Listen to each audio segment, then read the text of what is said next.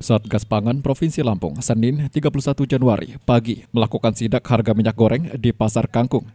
Tim menemukan salah satu toko yang telah menerima distribusi minyak murah 900 ml dengan harga 12.500 namun tidak dijual. Satgas memberikan teguran dan meminta agar stok yang disimpan dijual ke masyarakat. Warga pun langsung berebut, saling dorong. Salah satu pembeli menjelaskan tidak semua toko di Pasar Kangkung menyediakan minyak murah. Berapa Pak seliternya Pak? Liter dihitung ini dua semuanya ini 25 200. 25 200 ya. ya. Dua apa dua? Rame warga yang nyerbu Pak ya? Rame. Emang selama ini mahal ya Pak ya? Ya alhamdulillah mahal. Oh, oh.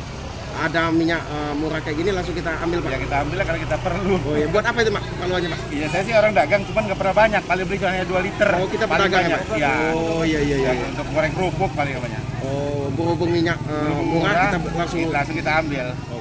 Kepala Dinas Perindustrian Lampung Elvira Umihani menyebut pembelian dibatasi maksimal 2 liter.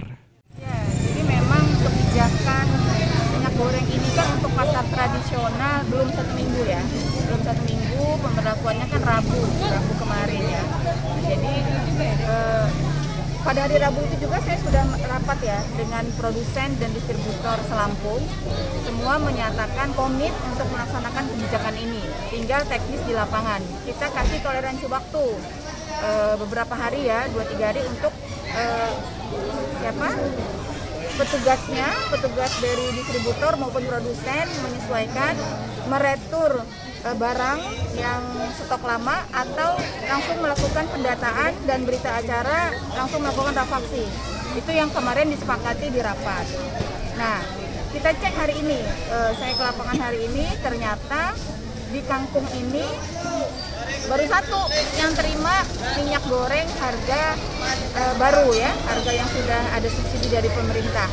Kios yang lain itu belum. Nah ini tadi saya udah langsung hubungi produsennya dan distributornya untuk segera melakukan percepatan dan mereka janji hari ini itu dari distributor e, terdistribusi.